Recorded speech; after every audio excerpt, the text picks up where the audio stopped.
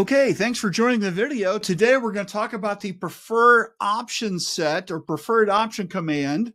If you haven't used this yet, this is a fantastic way that we can have a little shortcut to create the things that we want to create in Midjourney, especially if you're always doing the same thing all the time. So you've got a set of prompts or a set of ideas or a prompt sequence that you really like.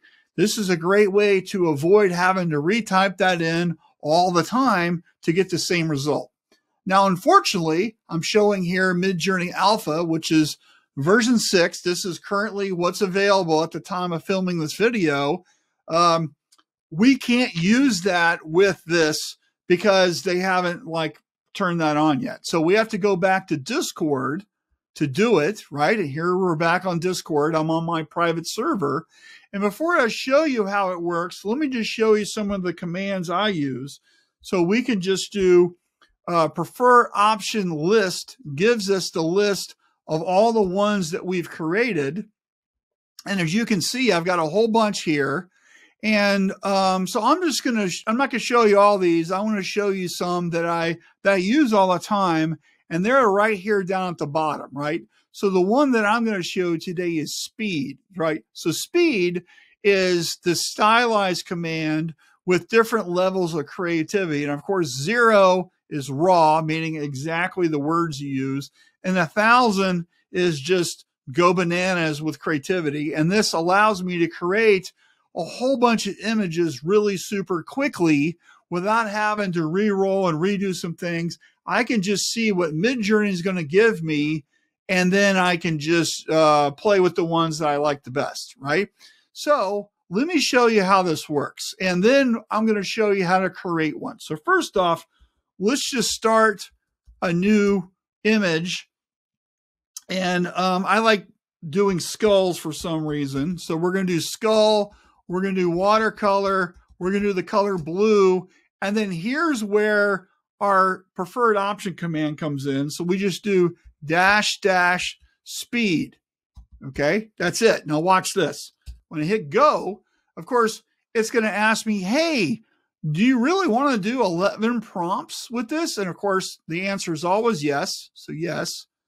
Now it's processing all 11 jobs. So, here's how I'm about to make 44 different images in Midjourney uh, in about a minute, but I didn't type in all of those stylized numbers, right? So, this is the beauty of doing this the preferred option set is you can dial in some different ideas, especially if you're doing things all the time. And this saves you a lot of time. It's a shortcut to awesomeness. Okay. So here we go. Midjourney is creating all this stuff, and I'm not going to go in and, and, and show you these in great detail. I just kind of glance through them, and you can see we're instantly doing each of these. We get four of the stylized 1000 here's 800 here's 600 and you know and the new midjourney alpha of course it does it in rows and it does it a little differently and hopefully we'll get to that soon uh, if you're listening midjourney we really want that right so you can see the power of that i'm not going to glam over that let's just show you how to create your own right so we go to uh, slash uh, prefer, spell it right, prefer option set, not list, but set. All right. Now, the option, the, there's two things we have to create. We have to create an option and we have to create the value. The option is what we're going to name it. Okay. Now, I'm going to have some prompts that I'm going to put in, and I'm going to say uh, water, or I'm going to say watercolor, right? and this is going to give us the option, right? So we hit return. Now, whoops, I already had one that was named that. Sorry. So let's do it over, right? Prefer option set, right? We want to say watercolor, right? And then that's going to be our option. And now we have to put the value in. So here's my value. I'm going to type in watercolor, uh, loose pen sketch, because I like how that looks. Uh, chiaroscuro, uh, spell it correctly, which is a, Italian Renaissance way of doing like faded backgrounds. And let's make sure I spell it right.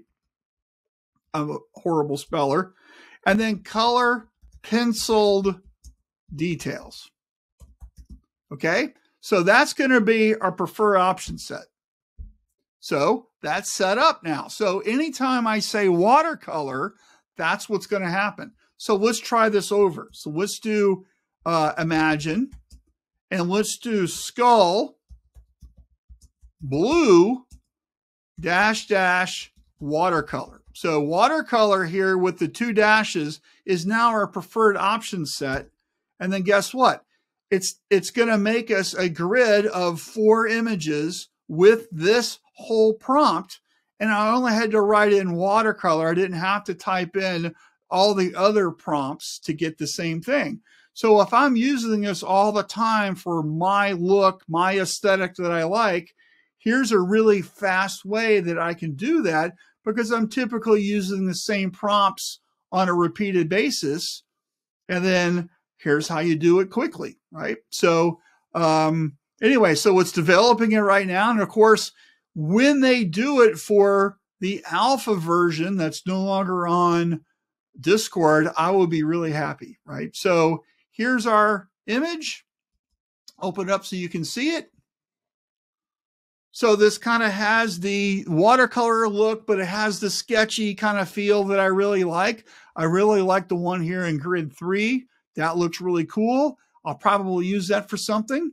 So anyway, thanks for watching the video. And if you need more instructions about tips on using Midjourney better and faster, please subscribe to our newsletter, which is publishes weekly at midjourneyexperience.com. I'll talk to you later.